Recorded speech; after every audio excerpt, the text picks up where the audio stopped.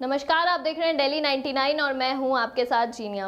अगर आप पासपोर्ट के लिए पासपोर्ट ऑफ़िस के चक्कर लगाकर थक चुके हैं तो आपके लिए एक खुशखबरी है। अब आपको पासपोर्ट के लिए कहीं नहीं जाना पड़ेगा, आप घर बैठे ही पासपोर्ट के लिए अप्लाई कर सकते हैं।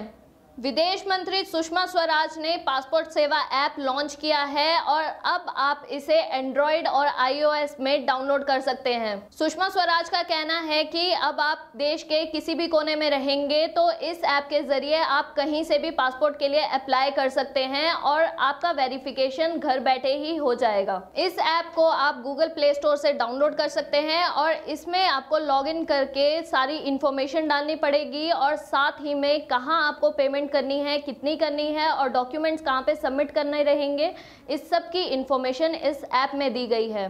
आपको बता दें कि वेरिफिकेशन कंप्लीट होने के बाद पासपोर्ट आपको उसी एड्रेस पर भेज दिया जाएगा और इसके लिए आपको ज़्यादा मेहनत भी नहीं करनी पड़ेगी। बाकी के अपडेट्स के लिए देखते रहिए डेली 99